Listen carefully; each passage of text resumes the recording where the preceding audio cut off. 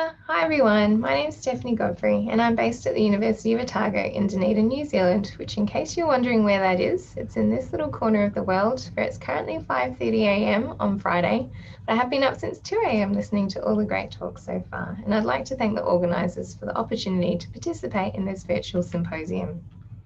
Today I want to give a very brief overview of a book chapter I've been working on with my co-author Robert Poulin, looking at the manipulation of host behaviour by parasites and the consequences that has for other aspects of animal behaviour. Parasite manipulation has to be one of the most captivating aspects of the host-parasite interaction, where we can get these really elaborate changes in host morphology, behaviour, and phenotype, which are thought to increase the chances of that parasite making it from its current host to the next host in its life cycle, often through predation. Parasite manipulation of host behavior is most common in parasites with complex life cycles, and the behavioral modi modifications can vary from the very elaborate, as we see here on this slide, through to quite subtle changes in activity patterns or responses to environmental cues. And what I'd like to talk about today is what are the consequences of these behavioral modifications for animal behavior. So one of the topics of animal behaviour that I'd like to focus on is animal personality and behavioural syndromes. And the reason for that is that quite often the behavioural targets of parasite manipulation are the same behaviours that we'd probably measure in an animal personality study. And so an example here is the fathead minnow, where the authors have found a relationship between the number of parasites per fish on the x-axis here and a boldness measure, which is the latency to emerge on the y-axis. So we have bolder fish down the bottom, which are quicker to emerge, and shyer fish up the top, which are slower to emerge.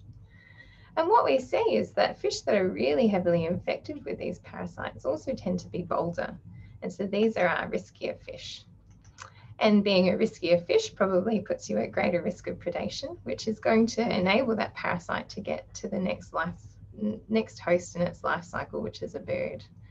And so we can see how these behaviors that we would normally measure as personality traits are certainly advantageous to parasites um, in, in enabling them to complete their life cycle. But it's not just the mean behavior that we're interested in. Um, by definition, animal personality requires a behavior to be expressed consistently by an individual. And so parasites can, can alter how consistently these behaviors are expressed. Another example is an eye fluke in the European minnow. So these eye flukes live in the eyeball and probably obscure the sight of the fish and, and how it perceives its environment. And the authors of this study experimentally infected minnows with fish and found that experimental infection didn't actually change the boldness, activity or exploration of these fish, but it affected how repeatably those behaviours were expressed. So on the y-axis here, we have the intra-class correlation coefficient, which is a measure of how repeatable the behavior is.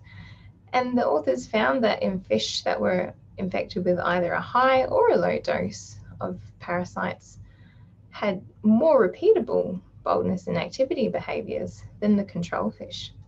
On the other hand, for exploration behavior, the control fish show repeatable behaviors for this behavioral trait but the experimentally infected fish did not.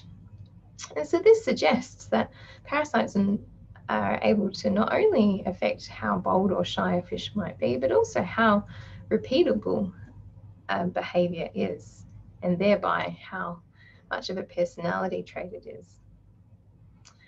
And I guess the next sort of logical link to make to this is that if parasites can manipulate some behaviors but not others, this could actually decouple behavioral syndromes, which are sort of co-evolved sets of behaviors.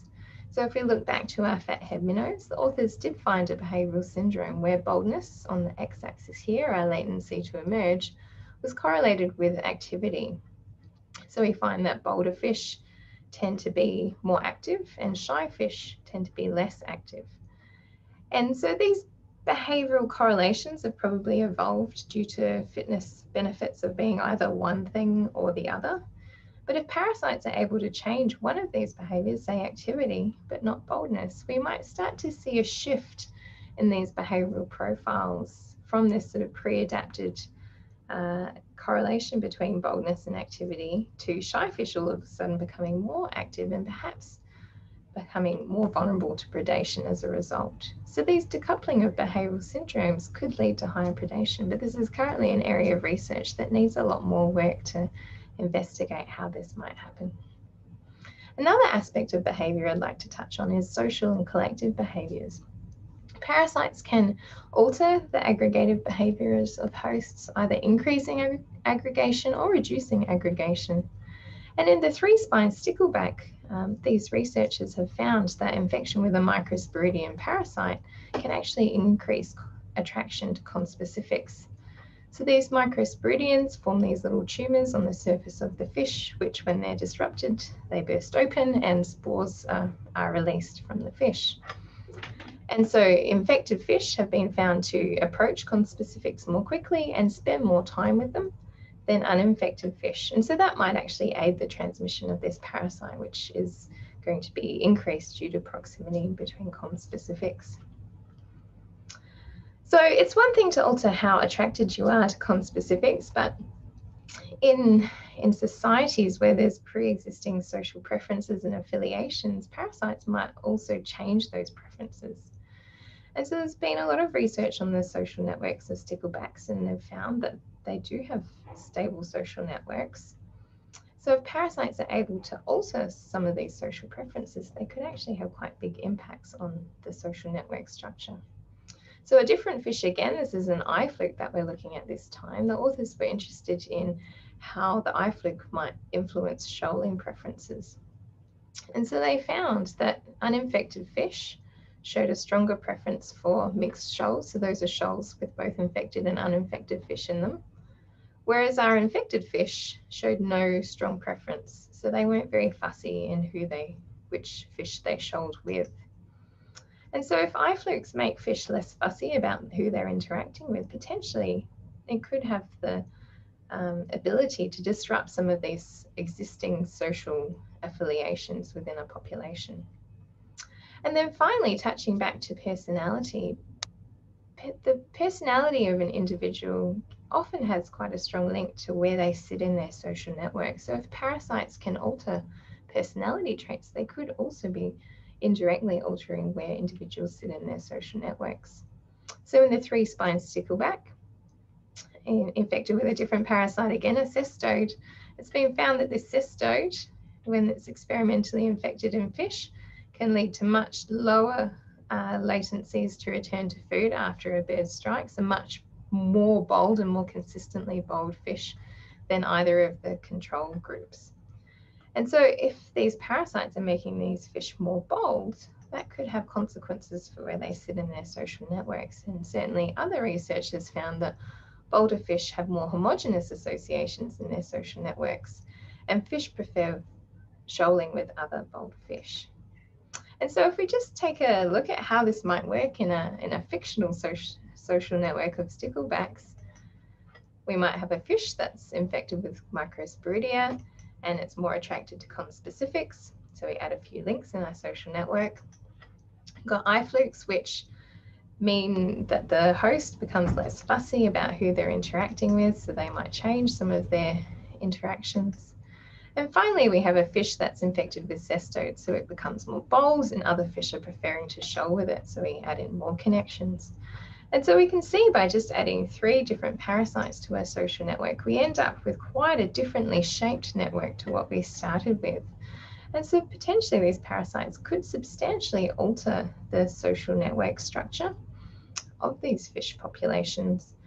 And that's going to have consequences for other processes that happen on these networks. So the transmission of information or other infections. And these networks are not static, they're dynamic. And so as a fish becomes infected, it might be changing its behavior, changing its interaction patterns, and that's altering its vulnerability to subsequent infection, either by that or another parasite. And so we can start to get these feedback loops develop between network position and infection. And so I'd just like to wrap up by highlighting that I think parasite manipulation is potentially a hidden influence in behavioral ecology. when we think about parasite manipulation, we think of these really dramatic and elaborate changes in morphology and behavior, but I actually think it's the more subtle impacts that might have more pervasive effects on some of these concepts in animal behavior that we're looking at here.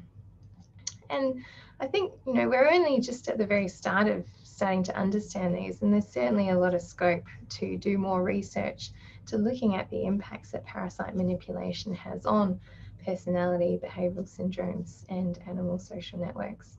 So I'd like to thank you for listening and welcome any questions during the Q&A.